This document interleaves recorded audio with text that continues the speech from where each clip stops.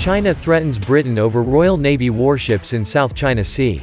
Defense Secretary confronts China with deployment of HMS Queen Elizabeth strike group in waters claimed by country.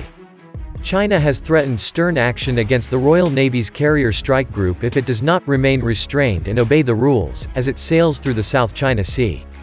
Defense Secretary Ben Wallace set the scene earlier this month for a confrontation with Beijing when he said the deployment led by the flagship HMS Queen Elizabeth would sail on any route defined as legitimate under international law.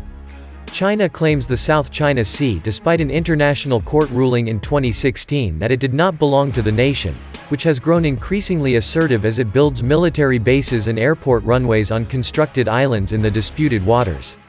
An editorial in the state-run newspaper Global Times said the carrier strike group entered the sea on Sunday as part of the United Kingdom's effort to show its presence in the region. We seriously warn this group. They are obliged to remain restrained and obey the rules.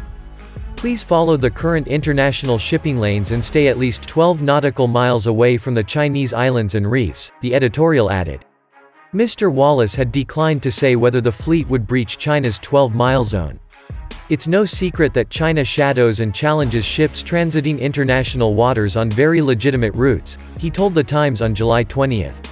We will respect China and we hope that China respects us, we will sail where international law allows. In a warning it said was being issued to the United Kingdom, Australia and Japan, the Global Times editorial stated, We advise United States allies to be particularly cautious, keep a sufficient distance from China's red lines, and refrain from pushing ahead. They must be bluntly told that if their warships rampantly behave as the United States military does in the South China Sea, they will more likely become an example of China defending its sovereignty and territorial integrity, just as a popular Chinese phrase indicates, to execute one as a warning to a hundred. It also said the very idea of a British presence in the South China Sea is dangerous. If London tries to establish a military presence in the region with geopolitical significance, it will only disrupt the status quo in the region, it said. And the United Kingdom simply does not have the ability to reshape the pattern in the South China Sea. To be precise, if the United Kingdom wants to play the role of bullying China in the region, it is demeaning itself. And if there is any real action against China, it is looking for a defeat. The tensions come after Foreign Secretary Dominic Raab said there was a global battle for hearts and minds to attempt to reduce China's influence on international organizations.